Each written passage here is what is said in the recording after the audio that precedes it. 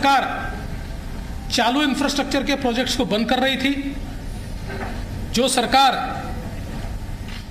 लगातार भ्रष्टाचार के आरोपों से लिप्त थी, जिस सरकार के दो मंत्री मनी लॉन्ड्रिंग में जेल में गए, दाऊद के साथ रिश्ते,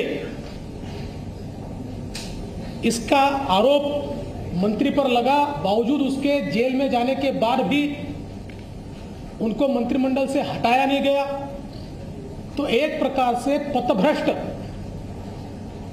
ऐसी सरकार भारतीय जनता पार्टी ने जिसको लगातार विरोध किया, ऐसी सरकार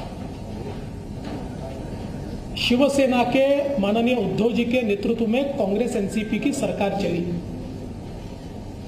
और इस सरकार के चलते शिवसेना के विधायकों में बड़ा रोष था। उनको लगता था वापस वोट मांगने जाना है और आज तक जो बातें कही उसके विरोध में काम हो रहा है। जिनके खिलाफ ज़िंदगी भर लड़े, उनके साथ बैठे, वोट कैसे मांगेंगे? साथ ही में उनकी कॉन्स्टिट्यूएंसी में उनके खिलाफ जो हारा, उसको पैसा मिलता था फंड्स मिलते थे। और ये सारी चीज़ों से एक बड़ा अंद्रेस था। और उसके चलते श्री एकनाथ शिंदे जी के नेतृत्व में शिवसेना के विधायकों ने एक ही मांग की कि कांग्रेस एनसीपी के साथ हम नहीं रह सकते। और ये गठबंधन तोड़ा जाए। किंतु उनकी मांग मंजूर नहीं हुई। माननीय उद्धव जी ने हिंदुत्व छोड़ दिया, विचारों को छोड़ दिया और अपने विधायकों से ज़्यादा कांग्रेस और एनसीपी की बात दिल को लगाकर रखी और उन्हें ही महत्व दिया, इसके चलते इन विधायकों ने अपनी आवाज़ बुलंद की। मैं इसको बगावत नहीं कहूँगा। ये आवाज़ बुलंद की और आवाज़ बुलंद करके इन विधायकों ने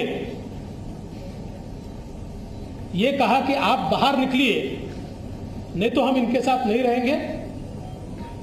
और ऐसे समय जब सरकार के पास बहुमत नहीं रहा और मुख्यमंत्री जी ने इस्तीफा दिया तो हम ये लगातार पिछले ढाई साल में कहते थे कि अंतर विरोध से भरी हुई सरकार है, ऐसी सरकारें चलती नहीं है। और ये सरकार जब गिरेगी तो एक अल्टरनेट गवर्नमेंट हम देंगे। हम महाराष्ट्र पर चुनाव नहीं ला देंगे इसलिए एकनाथ शिंदे जी के साथ शिवसेना जो है, शिवसेना के नेता के रूप में आज उन्होंने मुख्यमंत्री पद के लिए अपना क्लेम माननीय राज्यपाल जी को दिया। भारतीय जनता पार्टी के हमारे गुट ने उनको पूरा समर्थन दिया। हमारे 106 और उसके साथ साथ, उनके साथ और हमारे साथ जो इंडिपेंडेंट्स और छोटी पार्टियाँ हैं, इन सभी के समर्थन का पत्र आज हमने सौंपा है और गवर्नर साहब ने श्री एकनाथ शिंदे जी को साढ़े सात बजे शपथ के लिए न्योता दिया है। आज के